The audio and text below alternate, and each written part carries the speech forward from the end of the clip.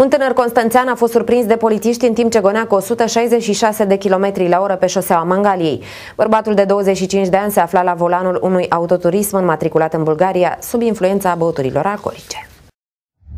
Tânărul de 25 de ani a gonit pe șoseaua Mangaliei Calaraliure, a apăsat pedala de accelerație până la 166 de km pe oră în condițiile în care limita de viteză în oraș este de 50 de km pe oră. Cursa nebună i-a fost întreruptă însă de polițiști înainte să aibă loc o tragedie.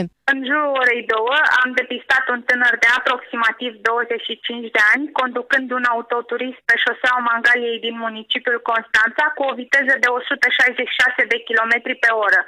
În urma verificărilor și a testării cu aparatul alcool test, um, acesta a fost depistat um, sub influența băuturilor alcoolice, rezultatul fiind de 0,87 mg per litru, alcool pur în aerul expirat. În urma aventurii de pe șosea, bărbatului s-a suspendat permisul de conducere și și s-a întocmit dosar de cercetare penală.